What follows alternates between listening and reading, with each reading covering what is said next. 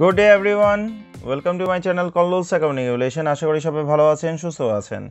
আমরা আজকেও theory of capital structure থেকে আরবিট্রেস প্রসেস নিয়ে আলোচনা করব। এই আরবিট্রেস প্রসেসের উপরে গত ক্লাসে আমরা ডিটেল আলোচনা করেছি এবং দুটো প্রিভিয়াস ইয়ারের কোয়েশনের সমাধান করেছি। যার মধ্যে একটি অঙ্ক পরীক্ষাতে দুইবার এসেছে। অ্যাকচুয়ালি গত ক্লাসে আমরা তিনটা ইয়ারের কোয়েশনের সমাধান নিয়ে আলোচনা করেছি। আজকের ক্লাসেও আমরা আরেকটা প্রিভিয়াস ইয়ারের কোয়েশনের সমাধান নিয়ে আলোচনা করব, যেখানে আরবিট্রেস প্রসেসটাকে দুইভাবে করার ব্যাপারে আলোচনা করব বিকজ প্রশ্নের রিকমেন্ডে কিন্তু আরবিট্রেস প্রসেসটাকে দুইভাবে করতে বলা হয়েছে। তাই আমরা আজকে আরবিট্রেস প্রসেসের দুইভাবে সমাধান নিয়ে আলোচনা করব। আমরা একটা পদ্ধতি নিয়ে গত ক্লাসে ডিটেল আলোচনা করেছি, আজকেও সেই পদ্ধতির আলোচনা আসবে এবং তার সাথে নতুন আরেক রকমভাবে পদ্ধতি আমরা শিখব। থিওরি অফ ক্যাপিটাল সেক্টরে ফার্মে ভ্যালুয়েশনের জন্য যে চারটা অ্যাপ্রোচের কথা উল্লেখ করা হয়েছে NI approach NOI approach M M approach এবং ট্রেডিশনাল অ্যাপ্রোচ সবগুলো অ্যাপ্রোচ নিয়ে কিন্তু আমরা প্রিভিয়াস ক্লাসগুলোতে অনেকগুলো লেকচার্স করেছি। যদি আপনারা সেসব ক্লাস মিস করে থাকেন, তাহলে নিচে ডেসক্রিপশন বক্সে সবগুলো ক্লাসের লিঙ্ক দেওয়া আছে, সেখান থেকে সবগুলো ক্লাসে আপনারা ফলো করতে পারবেন। এছাড়াও থিওরি অফ ক্যাপিটাল স্ট্রাকচার নামে একটা প্লে লিস্ট আমার এই চ্যানেলে তৈরি করা আছে, সেই প্লে লিস্টের লিঙ্কও নিচে ডেসক্রিপশন বক্সে দেওয়া আছে, আই এখানে দেওয়া আছে এবং ভিডিও শেষে এন স্ক্রিনও দেওয়া আছে। সেই প্লে লিস্টে গেলেও এই চ্যাপ্টারের সাথে রিলেটেড সবগুলো ক্লাস প্রথম থেকে শেষ পর্যন্ত সিরিয়ালভাবে ফলো করতে পারবেন। আমার এই চ্যানেলে বিবিএ এবং এমবিএ সিলেবাসের সাথে রিলেটেড আরও বিভিন্ন গুরুত্বপূর্ণ চ্যাপ্টার নিয়ে কমপ্লিট লেকচার্স রেডি করা আছে, সবগুলো লেকচারের লিঙ্কই নিচে ডেসক্রিপশন বক্সে দেওয়া আছে এবং আমার চ্যানেলে একটা প্লে লিস্ট অপশন আছে, সেই প্লে লিস্ট অপশনে গেলেও আপনারা আপনাদের প্রত্যাশিত যে কোনো চ্যাপ্টারের প্লে লিস্ট ফলো করতে পারবেন। যে কোনো নির্দিষ্ট চ্যাপ্টারের প্লে লিস্ট ফলো করলে সেখানে আপনার ক্লাসেসগুলো প্রথম থেকে শেষ পর্যন্ত সিরিয়ালভাবে পেয়ে যাবেন এবং সেই নির্দিষ্ট প্লে লিস্টে ওই চ্যাপ্টারের সাথে রিলেটেড বেসিক ডিসকাশনস প্রিভিয়াস ইয়ারের কোয়েশনের সমাধান এবং পরীক্ষা উপযোগী আরও বিভিন্ন অঙ্কের সমাধান পেয়ে যাবেন। অর্থাৎ নির্দিষ্ট যে কোনো একটা চ্যাপ্টারের প্লে লিস্ট ফলো করলে আপনাদের ওই চ্যাপ্টার সম্পর্কে একটা পূর্ণাঙ্গ ধারণা হয়ে যাবে, পরীক্ষা উপযোগী একটা ভালো প্রিপারেশনও হয়ে যাবে। যদি এখনও পর্যন্ত আমার চ্যানেলটা সাবস্ক্রাইব না করা থাকে, তাহলে অবশ্যই সাবস্ক্রাইব করে রাখুন। বেল আইকনে ক্লিক করুন যাতে ভবিষ্যৎ কোনো ক্লাস মিস না হয়। আমরা এই চ্যানেলে কিন্তু সিলেবাসের সাথে রিলেটেড বিভিন্ন গুরুত্বপূর্ণ চ্যাপ্টার নিয়ে কমপ্লিট লেকচার্স রেডি করছি প্রিভিয়াস ইয়ারের কোয়েশনের সমাধান করছি এবং পুরো চ্যাপ্টার সম্পর্কে বেসিক ডিসকাশনসও করছি। আমরা প্রতিটা ক্লাসে আলোচনা করছি যে theory of capital structure BBA সিলেবাসের ফার্স্ট ইয়ার থেকে শুরু করে ফোর্থ ইয়ার পর্যন্ত এবং এমবিএতেও আছে। তবে এই আরবিট্রেস প্রসেসের অঙ্কগুলো BBA third year BBA fourth year এবং এম এমবিএ স্টুডেন্টদের জন্যই বেশি ইম্পর্টেন্ট বিবিএ ফার্স্ট ইয়ার এবং সেকেন্ড ইয়ার স্টুডেন্টদের জন্য তেমন গুরুত্বপূর্ণ নয়। বিবিএ থার্ড ইয়ার এবং বিবিএ ফোর্থ ইয়ার পরীক্ষাতে কিন্তু রিসেন্ট ইয়ার্সগুলোতে রিপিটেটিভভাবে এখান থেকে প্রশ্ন আসছে। বিশেষ করে বিবিএ থার্ড ইয়ারে অ্যাকাউন্টিং ডিপার্টমেন্টে ফিনান্সিয়াল ম্যানেজমেন্ট এবং finance and banking department financial management syllabus থেকে রিপিটেটিভভাবে কিন্তু আরবিট্রেস প্রসেস থেকে অঙ্ক পরীক্ষাতে আসছে। এছাড়াও অ্যাকাউন্টিং ফোর্থ ইয়ারে যারা আছেন এবং ম্যানেজমেন্ট ডিপার্টমেন্টে ফোর্থ ইয়ারে যারা আছেন, তাদের যে কোর্স পেপারগুলো আছে, তার মধ্যে অ্যাকাউন্টিং ডিপার্টমেন্টে অ্যাকাউন্টিং থিওরিতেও কিন্তু ক্যাপিটাল স্ট্রাকচার নামে চ্যাপ্টারটা আছে এবং সেখান থেকেও কিন্তু প্রিভিয়াস ইয়ারগুলোতে বেশ কয়েকবার আরবিট্রেস প্রসেসে অঙ্ক এসছে। তবে সবচেয়ে বেশি এসেছে ম্যানেজমেন্ট ডিপার্টমেন্টের স্টুডেন্টদের ম্যানেজমেন্ট ডিপার্টমেন্ট স্টুডেন্টদের ফিনান্সিয়াল ম্যানেজমেন্ট এবং ইনভেস্টমেন্ট ম্যানেজমেন্ট দুটো কোর্স পেপার আছে। এই দুটো কোর্স পেপারে কিন্তু গত কয়েক বছর ধরে আরবিট্রেস প্রসেস থেকে রিপিটেটিভভাবে কোশ্চেন হচ্ছে। তাই আপনাদের জন্য এই অংশটা খুবই খুবই গুরুত্বপূর্ণ। এছাড়া যারা এমবিএতে অ্যাকাউন্টিং ডিপার্টমেন্ট পড়ছেন, আপনাদের কর্পোরেট ট্যাক্স প্ল্যানিংয়েও কর্পোরেট ট্যাক্স কনসিকুয়েন্সেস নামে যে চ্যাপ্টারটা আছে, তার মধ্যে কিন্তু এই টপিকের সাথে রিলেটেড অঙ্কগুলো আছে। আপনারাও এই টপিকের অঙ্কগুলো ফলো করে নেবেন। আমরা সরাসরিভাবে প্রশ্নের সমাধানে চলে যাচ্ছি। আমরা এখন একটা কোয়েশ্চেন দেখছি। The Kelly company and Green company are identical in every respect except that Kelly company is not levered While the green company has taka 2 million 12% bonds outstanding, there are no taxes and capital market are assumed to be perfect. Kelly company এবং Green company দুটো প্রতিষ্ঠান সব দিক থেকে সমরূপ তবে ব্যতিক্রম হচ্ছে কি ক্যালি কোম্পানি লিভার্ড নয় দ্যাট মিন্স ক্যালি কোম্পানি হচ্ছে কি আনলিভার্ড ফার্ম যেখানে গ্রিন কোম্পানি টু মিলিয়ন মানে কি বিশ লক্ষ টাকা মূল্যের বন্ডস আছে যার উপরে সুদের হার হচ্ছে কি বারো পার্সেন্ট তাহলে গ্রিন কোম্পানি হচ্ছে কি লিভার্ড ফার্ম এবং ক্যালি কোম্পানি হচ্ছে কি unlevered firm. There are no taxes কোনো প্রকার কর নেই, কোনো প্রতিষ্ঠানের। And capital market are assume to be perfect এবং মূলধন বাজার দেখা যাচ্ছে কি পারফেক্ট কন্ডিশনে আছে। The valuation of the two firms are in the following দুটো ফার্মের এখানে ভ্যালুয়েশন করে দেওয়া আছে। ক্যালি কোম্পানি এবং গ্রিন কোম্পানি দুটো ফার্মে ভ্যালুয়েশন করে দেওয়া আছে। প্রথমে ইবিআইটি দেওয়া আছে, তারপরে ইন্টারেস্ট অন ডেটকে বিয়োগ করা হয়েছে। গ্রিন কোম্পানির জন্য যেহেতু তার ঋণপত্র আছে, তার ঋণের উপরে সুদও আছে। টু মিলিয়ন মানে বিশ লক্ষ টাকার উপরে বারো পার্সেন্ট করে সুদ হচ্ছে কি দুই লক্ষ চল্লিশ হাজার টাকা বিয়োগ করার পরে আসছে earnings to common stock holders অর্থাৎ যেটাকে আমরা বলি কি ইএসিএস হচ্ছে কি ছয় লাখ টাকা এবং তিন লাখ ষাট হাজার টাকা। যেহেতু এখানে কোনো প্রেফারেন্স ডিভিডেন্ড নাই, তার আমরা ইএসিএসটাকে আরেক ভাষায় বলতে পারি কি ইএটি দুটো প্রতিষ্ঠানে ইএটি দেওয়া আছে, তারপরে required equity rate required equity rate মানে হচ্ছে কস্ট অফ ইকুইটি দুটো প্রতিষ্ঠানের কস্ট অফ ইকুইটি দেওয়া আছে মানে কে এর মান দেওয়া আছে। মার্কেট ভ্যালু স্টক বের করে দেওয়া আছে চল্লিশ লাখ টাকা এবং বাইশ লক্ষ পঞ্চাশ হাজার টাকা। Market value of debt Green কোম্পানির জন্য হচ্ছে কি বিশ লাখ টাকা যোগ করার পরে total value of the firm বের করা হয়েছে চল্লিশ লাখ এবং বিয়াল্লিশ লক্ষ পঞ্চাশ হাজার টাকা। তার সাথে ওভারঅল ক্যাপিটালাইজেশন রেট এবং ডেট ইকুইটি রেশিওগুলো দিয়ে দিয়েছে। তবে আমাদের এই ওভারঅল ক্যাপিটালাইজেশন রেট এবং ডেট ইকুইটি রেশিওর ব্যবহার কিন্তু আরবিট্রেস প্রসেসের জন্য হবে না। তো এই বিষয়গুলো নিয়ে আমাদের চিন্তা করার প্রয়োজন নেই। আর আমি গত ক্লাসে ডিটেলভাবে বলে দিয়েছিলাম, সবসময় আরবিট্রেস প্রসেস করার সময় তো একটা বিষয় খেয়াল করতে হবে, সেটা হচ্ছে কি বিনিয়োগকারী, যে বিনিয়োগকারীর পক্ষ থেকে আমরা আরবিট্রেস প্রসেসটা করব, সেই বিনিয়োগকারী প্রাথমিক অবস্থাতে সবসময় ওভার ভ্যালুড ফার্মে অবস্থান করবে এবং সেই ওভার ভ্যালুড ফার্ম থেকে সুইচ অফ করে আন্ডার ভ্যালুড ফার্মে সে যাবে এবং ওভার ভ্যালুড ফার্ম থেকে আন্ডার ভ্যালুড ফার্মে গেলে তার সবসময় লাভই হবে। আরবিট্রেস প্রসেসের মাধ্যমে সবসময় লাভই পাওয়া যায়, কখনোই লস হয় না। এবং ওভার ভ্যালুর থেকে আন্ডার ভ্যালুটা কেন আসছে, সে বিষয় নিয়েও আমি গত ক্লাসে আলোচনা করেছি। অ্যাকচুয়ালি ওভার ভ্যালুড ফার্মটা বর্তমানে ফার্মের ভ্যালু তুলনামূলকভাবে দিন দিন বাড়ছে মানে কি এই প্রতিষ্ঠানটা অধিক ঝুঁকিপূর্ণ প্রতিষ্ঠানে পরিণত হচ্ছে, তাই বিনিয়োগকারীরা তাদের ঝুঁকি হ্রাস করার জন্য অধিক মূল্যের ফার্ম থেকে শেয়ার বিক্রি করে তারা কম মূল্যের ফার্মে বিনিয়োগ করবে যাতে তারা ঝুঁকিটাকে কমাতে পারে। এবং এই ঝুঁকি হ্রাসের উদ্দেশ্যে ওভার ভ্যালু ফার্ম থেকে যখন আন্ডার ভ্যালু ফার্মে আসা শুরু করবে, দেখা যাবে কি ওভার ভ্যালু ফার্মের শেয়ারের মূল্য আস্তে আস্তে কমতে থাকবে এবং আন্ডার ভ্যালুড ফার্মের শেয়ারের মূল্য আস্তে আস্তে বাড়তে থাকবে। তাতে যেটা হবে, সেটা হচ্ছে কি, বিনিয়োগকারীরা যখন আন্ডারভ্যালুড ফার্মে বিনিয়োগ করেছে, তখন শেয়ারের মূল্য কম ছিল, কিন্তু আস্তে আস্তে যখন এই আন্ডারভ্যালুড ফার্মে শেয়ারের বিনিয়োগ বাড়তে থাকবে, তখন শেয়ারের মূল্যও বাড়তে থাকবে এবং বিনিয়োগকারীরা লাভবান হবে। আর ওভারভ্যালুড ফার্মে যখন বিনিয়োগকারীরা থাকবে, তখন তাদের শেয়ারের মূল্য বাড়ছে প্রাথমিকভাবে, কিন্তু পরবর্তীতে ঝুঁকির কারণে শেয়ারের মূল্য হ্রাস পেতে পারে এবং সেক্ষেত্রে তাদের অবস্থা লসের দিকে যেতে পারে। তাই বিনিয়োগকারীরা তাদের ঝুঁকি হ্রাস করার জন্য ওভারভ্যালু ফার্ম থেকে আন্ডারভ্যালু ফার্মে সুইচ অফ করা শুরু করে। এটাতে ওভারভ্যালু ফার্মের ভ্যালু কমতে থাকে এবং আন্ডারভ্যালু ফার্মের ভ্যালু বাড়তে থাকে। তবে একটা সময় থেকে দুটো ফার্মের ভ্যালু সমান হয়ে যাবে এবং যখনই দুইটা ফার্মের ভ্যালু সমান হয়ে যাবে, তখনই কিন্তু আরবিট্রেস প্রসেসটা শেষ হয়ে যাবে। গতদিনকে আমরা যে দুটো অঙ্ক করেছিলাম, তার মধ্যে দ্বিতীয় অঙ্কটার মধ্যে কিন্তু রিকমেন্ডে ছিল যে কখন আরবিট্রেস প্রসেস শেষ হবে। সেটা আমরা কমেন্ট আকারে লিখেছি এবং ভিডিওর ডিসকাশনে আমি বারবার করে আলোচনা করেছিলাম। যখন দুটা ফার্মের ভ্যালু সমান হয়ে যাবে, তখন আরবিট্রেস প্রসেস শেষ হয়ে যাবে। অর্থাৎ বিনিয়োগকারীরা একটা ফার্মকে ছেড়ে আরেক ফার্মে আর সুইচ অফ করবে না বিকজ এটাতে তাদের বাড়তি কোনো মুনাফা বা বাড়তি কোনো বেনিফিট হবে না। আরেকটা বিষয় আলোচনা করেছিলাম, সেটা হচ্ছে কি আরবিট্রেস প্রসেসটা হচ্ছে কিন্তু এম এম হাইপোথেসিসের অংশ। মডিগ্লিয়ান এবং মিলার এই দুজন ব্যক্তি কিন্তু আরবিট্রেস প্রসেসের প্রবক্তা। আমাদের এখানে যে ভ্যালুয়েশনটা করে দেওয়া আছে, দুটো ফার্মে ভ্যালুয়েশন করে দেওয়া আছে, এই ভ্যালুয়েশনটা কিন্তু করা হয়েছে কি এন আই অ্যাপ্রোচ অথবা নেট ইনকাম অ্যাপ্রোচের সাহায্যে। কারণ আমরা জানি নেট ইনকাম অ্যাপ্রোচের সাহায্যে যখন আমরা টোটাল ভ্যালু বের করি, তখন সেখানে আমরা সূত্র লিখেছি কি? V is equal to S plus V আমরা তো টোটাল ভ্যালু বের করার বিভিন্ন অঙ্ক এর আগে বিভিন্ন লেকচারে করে এসেছি NI approach NOI approach M M approach সবগুলো অ্যাপ্রোচে কিন্তু অঙ্ক করে এসেছি। এখন আমরা এই চ্যাপ্টারে একটু অ্যাডভান্সড লেভেলে এসেছি। আর আমরা জানি যে এনআই অ্যাপ্রোচের ক্ষেত্রে যখন টোটাল ভ্যালু বের করতে হয়, সেক্ষেত্রে সূত্রটা ব্যবহার করে কি? এস প্লাস ভি এবং এখানে V is equal S plus V এই সূত্রের সাহায্যে কিন্তু দুটো ফার্মের ভ্যালু বের করা হয়েছে। তার মানে অবশ্যই এখানে ফার্মের ভ্যালুয়েশনটা এনআই অ্যাপ্রোচেই হয়েছে। আর এনআই অ্যাপ্রোচের যেটা কনসেপ্ট সেটা হচ্ছে কি, দেখা যায় কি এখানে একটা প্রতিষ্ঠান যদি আনলিভার্ড হয় এবং আরেকটা প্রতিষ্ঠান যদি লিভার্ড হয়, অর্থাৎ ঋণকৃত মূলধন ব্যবহার করে, এই ঋণের কারণে, ঋণের প্রভাবে দেখা যায় কি দুটো প্রতিষ্ঠানের ফার্মের ভ্যালু দুরকম হয়। তবে এমন নয় যে যারা ঋণ ব্যবহার করছে, অর্থাৎ লিভার ফার্ম তাদের ভ্যালু সবসময় বেশি থাকবে এবং আনলিভার ফার্মের ভ্যালু কম থাকবে। এই বিষয়টা কিন্তু আমি একবারও বলছি না। অবশ্যই আনলিভার ফার্মের ভ্যালুও বড় হতে পারে লিভার ফার্মের ভ্যালুও ছোট হতে পারে। তবে এনআই অ্যাপ্রোচে যেটা বলছে সেটা হচ্ছে কি, ঋণের ব্যবহারের কারণে দুটা ফার্মের ভ্যালু দুরকম হয়। কিন্তু এম এম মডিগ্লেনি এবং মিলার এই দুজন ব্যক্তি বলছেন, যদি প্রতিষ্ঠানের কোনো ট্যাক্স না থাকে, কোনো প্রতিষ্ঠানে যদি কোনো প্রকার ট্যাক্স না থাকে, তাহলে একমাত্র ঋণের ব্যবহারের কারণে দুটো প্রতিষ্ঠানের মোট মূল্য দুরকম হতে পারে না। দুটো প্রতিষ্ঠানের মূলধন উৎস যাই থাকুক না কেন, দুটো প্রতিষ্ঠানের মোট বাজার মূল্য অবশ্যই একই হওয়া উচিত।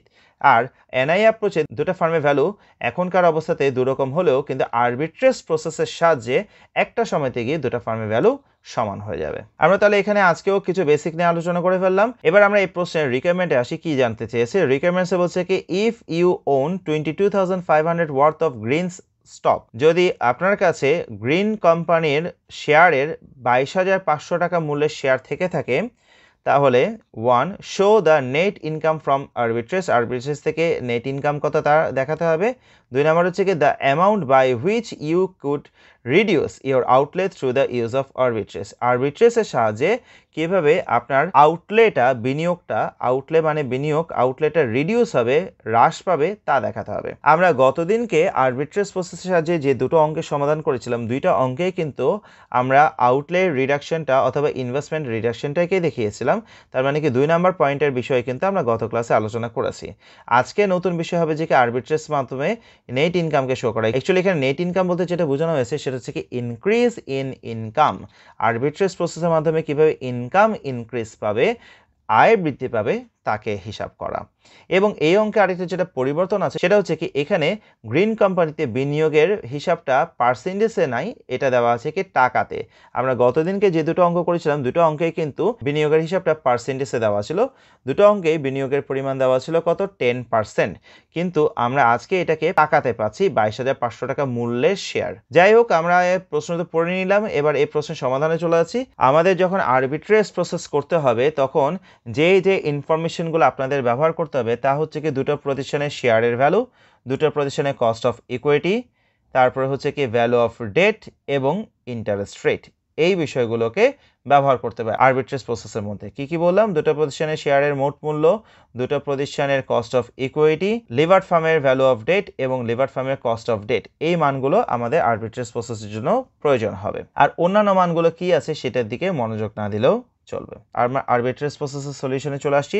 প্রথম অংশে রিকোয়ারমেন্ট ওয়ানে আমাদেরকে যেটা করতে বলেছিল আরবিট্রেসের মাধ্যমে কীভাবে আয় বৃদ্ধি পায় তাকে দেখানো। আমরা তাই এখানে লিখছি analysis of increase in income from arbitrage arbitrage মাধ্যমে কীভাবে ইনক্রিজ ইন ইনকাম হচ্ছে তা দেখানো। বিনিয়োগকারী বর্তমানে গ্রিন কোম্পানিতে অবস্থান করছেন। গ্রিন কোম্পানির শেয়ারের মধ্যে বাইশ হাজার পাঁচশো টাকা মূল্যের শেয়ার আছে। অঙ্কের সুবিধার জন্য আমরা একটা ওয়ার্কিং করে বা নোট করে তার যে বাইশ হাজার পাঁচশো টাকা মূল্যের শেয়ার আছে, সেটাকে আমরা পার্সেন্টেজে কনভার্ট করে নেব। এবং এই পার্সেন্টেজের ব্যবহারটাই কিন্তু আমরা পুরো অঙ্ক জুড়েই করতে থাকব।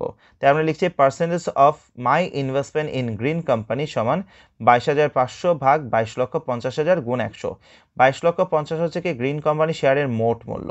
এই বাইশ লক্ষ পঞ্চাশ হাজার টাকা মোট মূল্যের শেয়ারের মধ্যে বিনিয়োগকারীর বাইশ হাজার পাঁচশো টাকা মূল্যের শেয়ার আছে। বাইশ লক্ষ পঞ্চাশ হাজারের মধ্যে যদি বাইশ হাজার পাঁচশো টাকা থাকে, তাহলে একশো টাকার মধ্যে বিনিয়োগের পরিমাণ হচ্ছে কত?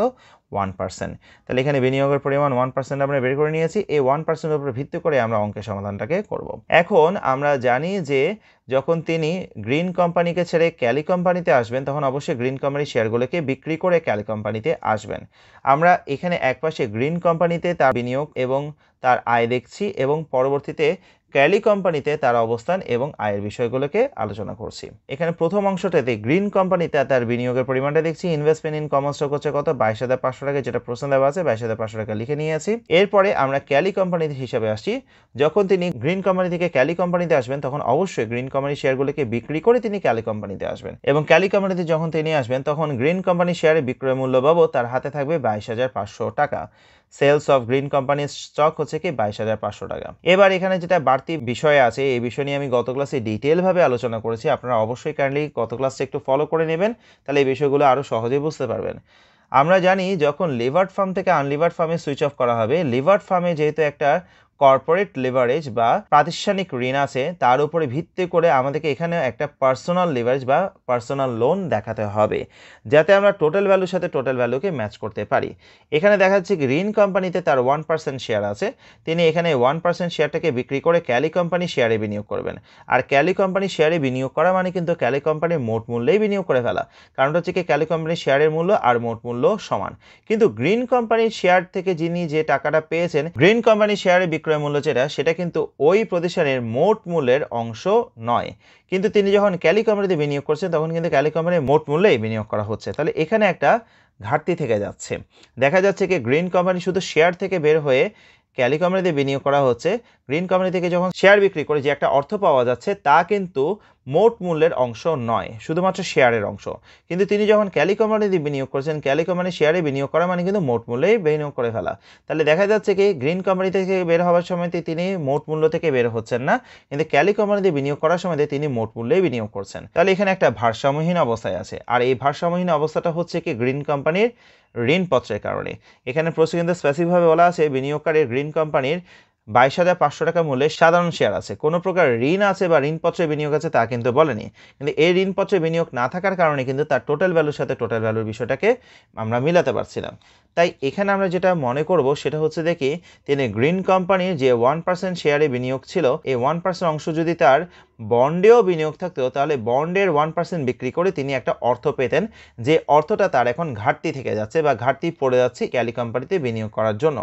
তাই এই সমপরিমাণ টাকা যেটা তিনি বন্ড বিক্রি করে পেতে পারতেন, গ্রিন কোম্পানির বন্ড বিক্রি করে পেতে পারতেন, সেটা এখন তিনি পাচ্ছেন না। তাই সমপরিমাণ টাকা তিনি বাইরে থেকে ঋণ গ্রহণ করবেন। তাই এটাকে আমরা পার্সোনাল লিভারেজ হিসেবে দেখাচ্ছি। এখানে এই অ্যাজামশনটা এই কারণেই করা হচ্ছে যাতে আমরা টোটাল ভ্যালুর সাথে টোটাল ভ্যালুকে মিলাতে পারি। যদি টোটাল ভ্যালুর সাথে টোটাল ভ্যালু ভারসাম্য অবস্থায় না আসে, তাহলে কিন্তু আরবিট্রেস প্রসেসে প্রয়োগটা যথাযথভাবে হবে না। তাহলে আরবিট্রেস প্রসেসের যথাযথভাবে যদি প্রয়োগ করতে হয়, তাহলে অবশ্যই টোটাল ভ্যালুর সাথে টোটাল ভ্যালুটা ভারসাম্য অবস্থায় থাকতে হবে। তাই এই ভারসাম্য অবস্থাটাকে রাখার জন্য আমরা এখানে একটা পার্সোনাল লিভারেজ দেখাচ্ছি। এই বিষয়টা সবসময় মনে রাখবেন যে লিভার ফার্ম থেকে যখন আনলিভার ফার্মে সুইচ অফ করা হবে, তখন সবসময় লিভার ফার্মে যেহেতু একটা ঋণ থাকে, সেই ঋণের উপর ভিত্তি করে আমাদেরকে এখানে পার্সোনাল লিভারেজ দেখাতেই হবে। সব অঙ্কে দেখাতে হবে যখন লিভার ফার্ম থেকে আনলিভার ফার্মে সুইচ অফ হয়। আবার যদি আনলিভার থেকে লিভারে সুইচ অফ হয়, তখন কিন্তু আবার এই পার্সোনাল লিভারেজের বিষয়টা আসবে না। আর লিভার থেকে লিভারের সুইচ অফের অঙ্কের গঠন প্রণালীও ভিন্ন হবে। আমরা আগামী ক্লাসে আনলিভার থেকে লিভার ফার্মে সুইচ অফের বিষয় নিয়ে আলোচনা করব এবং আগামী ক্লাসে আমরা দুটো প্রিভিয়াস ইয়ার কোয়েশ্চেন সমাধান করব। দুটো প্রিভিয়াস ইয়ার কোয়েশ্চেনে কিন্তু আনলিভার থেকে কীভাবে লিভারটে সুইচ অফ করা হয় সে বিষয় নিয়ে ডিটেল আলোচনা করব। তবে আজকের ক্লাসে আমরা করছি লিভার থেকে আনলিভার আমরা এখানে তাহলে পার্সোনাল লোনটা লিখে নিলাম। এই বিশ লক্ষ টাকার উপরে তার যেটা শেয়ারে বিনিয়োগ ছিল এক পার্সেন্ট তার সমতুল্য হিসাব করে বিশ হাজার টাকা। এই দুটো টাকা যোগ করার পরে আমরা এখানে পেয়েছি ফান্ড অ্যাভেলেবেল ফর ইনভেস্টমেন্ট ইনভেস্টমেন্টের জন্য ফান্ড অ্যাভেলেবেল আছে বিয়াল্লিশ হাজার পাঁচশো টাকা। যখন আমাদের কাজটা এটা থাকবে ইনক্রিজ ইন ইনকামকে বের করা, এই ইনক্রিজ ইন ইনকাম যখন বের করতে হবে, তখন কিন্তু আমরা সবসময় যে টাকাটা তার বিনিয়োগযোগ্য অর্থ হাতে আছে সেই পুরো অর্থটাই তিনি শেয়ারে বিনিয়োগ করে দেবেন, এটাই আমরা অ্যাজিউম করব। অর্থাৎ এই যে বিয়াল্লিশ হাজার পাঁচশো টাকা তার হাতে আছে সেই বিয়াল্লিশ হাজার পাঁচশো টাকা পুরোটাই তিনি ক্যালি কোম্পানির শেয়ারে বিনিয়োগ করবেন। তাই আমরা এখানে লিখছি কি ইনভেস্টমেন্ট ইন শেয়ারস হচ্ছে কত? বিয়াল্লিশ হাজার পাঁচশো টাকা। ক্যালি কোম্পানির শেয়ারে বিয়াল্লিশ হাজার পাঁচশো টাকা বিনিয়োগ করা হয়েছে। এবার আমরা দুই দিকে তার বিনিয়োগের হিসাবটা দেখে নিলাম। বিনিয়োগের উপর ভিত্তি করে এবার আয়ের হিসাবে আসি। ক্যালি কোম্পানি থেকে যদি আয়ের কথা বলি, তাহলে ক্যালি কোম্পানি যেহেতু শেয়ারে বিনিয়োগ করা হয়েছে, তাহলে শেয়ার থেকে ডিভিডেন্ড বাবদ আয় করা হবে। আর ক্যালি কোম্পানির শেয়ারে বিয়াল্লিশ হাজার পাঁচশো টাকা বিনিয়োগ করা হয়েছে। আর বিয়াল্লিশ হাজার পাঁচশো টাকার উপরে ক্যালি কোম্পানির ইকুইটি অথবা সাধারণ শেয়ারের উপরে আয়ের হার হচ্ছে কি ফিফটিন পার্সেন্ট বা পয়েন্ট ওয়ান ফাইভ এই বিয়াল্লিশ হাজার পাঁচশো টাকা যা শেয়ার কেনা হয়েছে, তার উপরে ফিফটিন পার্সেন্ট করে তাহলে ক্যালি কোম্পানি থেকে ডিভিডেন্ড পাওয়া যাবে ছয় হাজার তিনশো পঁচাত্তর টাকা six thousand three hundred seventy five টাকা ডিভিডেন্ড বাবদ আয় করা হবে। তবে ক্যালি কোম্পানিতে বিনিয়োগ করার জন্য তিনি কিন্তু ব্যক্তিগতভাবে বিশ হাজার টাকা ঋণ নিয়েছেন। আর এই ঋণের উপরে কিন্তু তার ক্যালি কোম্পানি থেকে যে আয়টা হবে, সেই আয় থেকে ঋণের উপরে সুদটা পরিশোধ করতে হবে। অর্থাৎ এই বিশ হাজার টাকা তিনি যেটা ঋণ নিয়েছেন, সেই ঋণের উপরে অবশ্যই সুদ আছে এবং সেই সুদটা ক্যালি কোম্পানির আয় থেকে পরিশোধ করতে হবে। যেহেতু ক্যালি কোম্পানিতে বিনিয়োগ করার জন্য কিন্তু তিনি ঋণটা নিয়েছিলেন। আর এই বিশ হাজার টাকার উপরে সুদের হার কত, সেটার জন্য আমরা দেখব যে কি লিভার্ট ফার্মের সুদের হার কত। লিভার্ট ফার্মের সুদের হার হচ্ছে কি টুয়েলভ পার্সেন্ট যেহেতু লিভার্ড ফার্মের ঋণ আছে বলে আমরা এখানে একটা ব্যক্তিগত ঋণকে দেখিয়েছি, তাই লিভার্ড ফার্মে যে সুদের হারটা থাকবে সেটাই এই ব্যক্তিগত ঋণের উপরে সুদের হার হিসেবে প্রয়োগ হবে। তাহলে বিশ হাজার টাকার উপরে যদি আমরা এই বারো পার্সেন্টকে অ্যাপ্লাই করি, তাহলে দেখছি কি ইন্টারেস্টের পরিমাণ হচ্ছে কি দুই হাজার চারশো টাকা। তাহলে ছয় হাজার তিনশো পঁচাত্তর টাকা থেকে দুই হাজার চারশো টাকা মাইনাস করলে ক্যালি কোম্পানি থেকে তার নেট ইনকাম হচ্ছে কি তিন হাজার নয়শো পঁচাত্তর টাকা। ক্যালি কোম্পানি থেকে তিনি ডিভিডেন্ড বাবদ আয় করেছিলেন ছয় হাজার তিনশো পঁচাত্তর টাকা, আর ইন্টারেস্ট বাবদ দুই হাজার চারশো টাকা পরিশোধ করার পরে তার নেট ইনকাম আছে তিন হাজার নয়শো পঁচাত্তর টাকা। আর বিপরীতে গ্রিন কোম্পানির কথা যদি বলি, গ্রিন কোম্পানিতে তার যে বাইশ হাজার পাঁচশো টাকা মূল্যের শেয়ার ছিল, সেই বাইশ হাজার পাঁচশো টাকা মূল্যের শেয়ারের উপরে গ্রিন কোম্পানির আয়ের হার হচ্ছে কি, ষোলো পার্সেন্ট বাইশ হাজার পাঁচশো টাকার উপরে যদি ষোলো পার্সেন্ট করা হয়, তাহলে গ্রিন কোম্পানি থেকে তার ডিভিডেন্ড বাবদ ইনকাম হচ্ছে কি তিন হাজার ছয়শো টাকা। তাহলে দেখা যাচ্ছে কি, গ্রিন কোম্পানিতে তার আয় হচ্ছে কি তিন হাজার ছয়শো টাকা, আর ক্যালি কোম্পানি থেকে তার আয় হচ্ছে কি তিন হাজার নয়শো পঁচাত্তর টাকা। তাহলে গ্রিন কোম্পানিকে ছেড়ে যদি তিনি ক্যালি কোম্পানিতে আসেন, তাহলে তার আয়টা তিনশো পঁচাত্তর টাকা বৃদ্ধি পাবে। গ্রিন কোম্পানিকে ছেড়ে তিনি যদি ক্যালি কোম্পানিতে আসেন, তাহলে গ্রিন কোম্পানির তুলনায় ক্যালি কোম্পানিতে তিনি তিনশো পঁচাত্তর টাকা আয় বাড়াতে পারবেন অথবা ইনক্রিজ ইন ইনকাম করতে পারবেন তিনশো পঁচাত্তর টাকা। আমরা এটাকে গ্রিন কোম্পানির এদিকে লিখেছি যাতে আমাদের দুই দিকে ফিগারটাকে ব্যালেন্সটাকে মিলাতে পারি। তিন হাজার নয়শো পঁচাত্তর টাকা ব্যালেন্সটাকে মিলাতে পারি। তাই আমরা গ্রিন কোম্পানির কলামে এই তিনশো পঁচাত্তর টাকাকে উপস্থাপন করেছি। তবে এই তিনশো পঁচাত্তর টাকা যে গ্রিন কোম্পানি থেকে আয় তৈরি হয়েছে তা কিন্তু নয়। আমরা এখানে লিখছি income increase from arbitrage arbitrage থেকে ইনকাম ইনক্রিজ হয়েছে তিন হাজার নয়শো পঁচাত্তর বিয়োগ তিন হাজার ছয়শো, তা হচ্ছে কি তিনশো পঁচাত্তর। টাকা। তাহলে আমরা প্রথম অংশের সমাধানটা করে ফেললাম, যেখানে আমাদেরকে আরবিট্রেস প্রসেসের মাধ্যমে ইনক্রিজ ইন ইনকামকে দেখাতে হবে। এবার আমরা পরবর্তী যে রিকোয়ারমেন্টটা করব, সেখানে কিন্তু আমাদেরকে দেখাতে হবে কি? রিডাকশন ইন ইনভেস্টমেন্টকে রিডাকশন ইন ইনভেস্টমেন্ট করার জন্য আমরা একইভাবে আরবিট্রেস প্রসেসের জন্য আরেকটা ছক ড্র করে নিব। আমাদের ছকের গঠনটা হুবহু একইভাবে হবে, শুধু ভিতরে কাঠামোগত কিছু পরিবর্তন আসবে। আমরা এখানেও প্রথমে আগে বাম পাশে my position on green company and net income লিখে নিলাম এবং my position in Kelly company after arbitrage লিখে নিয়েছি। আর উপরে হেডলাইনটা এবার লিখছি analysis of income from arbitrage and determination of reduction in investment arbitrage থেকে আয়ের বিশ্লেষণ এবং ইনভেস্টমেন্ট কতটুকু রিডাকশন হবে সেটাকে নির্ণয় করা। ইনকাম ফ্রম আরবিট্রেস বলতে আসলে কিন্তু এই যে নেট ইনকাম যা দেখাচ্ছি তাকেই বোঝানো হয়েছে। ইনক্রিজ ইন ইনকামকে নয়। ইনকাম ফ্রম আরবিট্রেস বলতে আসলে এখানে নেট ইনকামটাকে বোঝানো হয়েছে ইনক্রিজ ইন ইনকামকে নয়। আমাদের এখানে মূল কাজ হবে কি? ইনভেস্টমেন্ট বাবদ কতটুকু রিডাকশন হচ্ছে তাকে শো করা। এটার জন্য আমরা প্রথমে গ্রিন কোম্পানিতে তার যে বিনিয়োগ ছিল সেটার হিসাবটা আবার লিখে নিব। Investment in equity shares one percent করে তার শেয়ার ছিল কি বাইশ হাজার পাঁচশো টাকা মূল্যের এবং তিনি যখন গ্রিন কোম্পানি ছেড়ে ক্যালি কোম্পানিতে আসবেন, অবশ্যই গ্রিন কোম্পানির শেয়ারগুলো বিক্রি করে ক্যালি কোম্পানিতে তিনি বিনিয়োগ করবেন। তাই ক্যালি কোম্পানিতে বিনিয়োগ করার সময়তে তার গ্রিন কোম্পানির শেয়ারের বিক্রয় মূল্য বাবদ অর্থ হাতে আছে বাইশ হাজার পাঁচশো টাকা। এবং একই থিম এখানেও কার্যকর, যেহেতু গ্রিন কোম্পানি একটা লেভার্ড ফার্ম এবং লেভার্ড ফার্মের একটা লেভারেজ আছে কর্পোরেট লিভারেজ আছে, তার উপরে ভিত্তি করে আমাদেরকে এখানে অবশ্যই পার্সোনাল লিভারেজটা দেখাতেই হবে। অর্থাৎ লিভার থেকে আনলিভারে যাওয়ার সময় তো সবসময় পার্সোনাল লিভারেজের বিষয়টা আসবেই আসবে। আমরা আরবিট্রেস প্রসেসটা যে ওয়েতে করি না কেন আরবিট্রেস প্রসেস দুই ওয়েতে করা যায়। আমরা এর আগের অঙ্কটাতে করলাম কি ইনক্রিজ ইন ইনকামকে দেখানো, আর এখানে আমরা করব কি রিডাকশন ইন ইনভেস্টমেন্টকে দেখানো। তবে যেটাই করি না কেন লিভার থেকে আনলিভার ফার্মের সুইচ অফের ক্ষেত্রে অবশ্যই পার্সোনাল লিভারেজটা বসাতেই হবে। এবার পার্সোনাল লিভারেজটা একইভাবেই হিসাব করব, যেহেতু লিভার ফার্ম গ্রিনের মোট ঋণপত্র ছিল বিশ লক্ষ টাকার এবং ঋণ কোম্পানিতে বিনিয়োগের হার ছিল এক পার্সেন্ট। আমরা তাই বিশ লক্ষর উপরে এক পার্সেন্ট করে ব্যক্তিগত ঋণ দেখাবো, বিশ হাজার টাকা এবং এই দুটো ফিগারকে যোগ করার পরে আমরা ফান্ড অ্যাভেলেবেল ফর ইনভেস্টমেন্ট পেয়ে গেছি, বিয়াল্লিশ হাজার। পাঁচশো টাকা। তবে যখন আমরা রিডাকশন ইন ইনভেস্টমেন্টের বিষয়টা করব, তখন তার হাতে যে অর্থটা আছে বিনিয়োগযোগ অর্থ আছে, বিয়াল্লিশ হাজার পাঁচশো টাকা, তা পুরোটাই কিন্তু আমরা ক্যালি কোম্পানিতে বিনিয়োগ হিসেবে দেখাবো না। তা পুরোটাই যদি বিনিয়োগ হিসেবে দেখাই, তাহলে সেক্ষেত্রে তখন আমাদের রিডাকশন ইন ইনভেস্টমেন্টটা বের হবে না, আমাদের বের হবে কি ইনক্রিজ ইন ইনকাম যেটা আমরা আগের রিকোয়ারমেন্টে সলভ করেছি। এখানে যদি আমরা রিডাকশন ইন ইনভেস্টমেন্ট করতে চাই, তাহলে যেটা করতে হবে, সেটা হচ্ছে কি ক্যালি কোম্পানিতে বিনিয়োগ করার সময়তে বিনিয়োগের যে অর্থটা আছে, সেটা পুরোটাই বিনিয়োগ করা হবে, তা নয়, এখানে বিনিয়োগের পার্সেন্টেজটা সেম থাকতে হবে। অর্থাৎ গ্রিন কোম্পানিতে বিনিয়োগ ছিল এক পার্সেন্ট এবং এই এক পার্সেন্টটি তিনি ক্যালি কোম্পানির শেয়ার থেকেও কিনবেন। আর ক্যালি কোম্পানির শেয়ারের মোট মূল্য হচ্ছে কি চল্লিশ লক্ষ টাকা। চল্লিশ লক্ষের এক পার্সেন্ট তিনি যদি পারচেস করেন, তাহলে সেক্ষেত্রে তার বিনিয়োগ হচ্ছে কত? চল্লিশ হাজার টাকা। এবার চল্লিশ হাজার টাকা যেটা বিনিয়োগ ক্যালি কোম্পানিতে করা হচ্ছে, সেই চল্লিশ হাজার টাকাটা যদি আমরা বিনিয়োগযোগ্য অর্থ থেকে বিয়োগ করে দিই, তাহলে দেখা যাচ্ছে কি ক্যালি কোম্পানিতে বিনিয়োগ করার পরেও তার হাতে টাকা থেকে গেছে দুই হাজার পাঁচশো টাকা, অর্থাৎ ক্যালি কোম্পানিতে বিনিয়োগটা কম করতে হয়েছে। তার মানে এখানে বিনিয়োগ বাবদ সাশ্রয় হয়েছে দুই হাজার পাঁচশো টাকা। তাহলে বিনিয়োগে তার একটা অ্যাডভান্টেজ পাওয়া যাচ্ছে, তবে এটা প্রপার অ্যাডভান্টেজ কিনা সেটা অ্যানালাইসিস করতে হলে আমাদেরকে আরেকটা বিষয় অ্যানালাইসিস করতে হবে, সেটা হচ্ছে কি ইনকাম দুটো প্রতিষ্ঠানে ইনকাম কেমন? আমরা প্রথমে গ্রিন কোম্পানি ইনকামে আসি। গ্রিন কোম্পানিতে তার বাইশ হাজার পাঁচশো টাকা মূল্যের শেয়ার ছিল, যেখানে তার আয়ের হার ছিল sixteen percent point one six তাহলে বাইশ হাজার পাঁচশো টাকার উপরে পয়েন্ট ওয়ান সিক্স যদি করি বা সিক্সটিন পার্সেন্ট যদি করি, তাহলে গ্রিন কোম্পানি থেকে ডিভিডেন্ড বাবদ ইনকাম হচ্ছে কি তিন হাজার ছয়শো টাকা। এবার গ্রিন কোম্পানিকে ছেড়ে দিন তো ক্যালি কোম্পানিতে এসেছেন। এবার তাহলে ক্যালি কোম্পানি থেকে তিনি ডিভিডেন্ড বাবদ ইনকাম করবেন, যেহেতু ক্যালি কোম্পানিরও সাধারণ শেয়ারে বিনিয়োগ করা হয়েছে। আর ক্যালি কোম্পানির সাধারণ শেয়ারে বিনিয়োগ করা হয়েছে চল্লিশ হাজার টাকা। আর এই চল্লিশ হাজার টাকার উপরে ক্যালি কোম্পানির ইকুইটির উপরে আয়ের হার হচ্ছে কি পনেরো পার্সেন্ট চল্লিশ হাজার টাকার উপরে যদি আমরা পনেরো পার্সেন্ট করি, তাহলে ডিভিডেন্ড বাবদ ইনকাম করবেন ছয় হাজার টাকা। তবে ক্যালি কোম্পানিতে বিনিয়োগ করার জন্য তাকে বিশ হাজার টাকা ঋণ নিতে হয়েছে।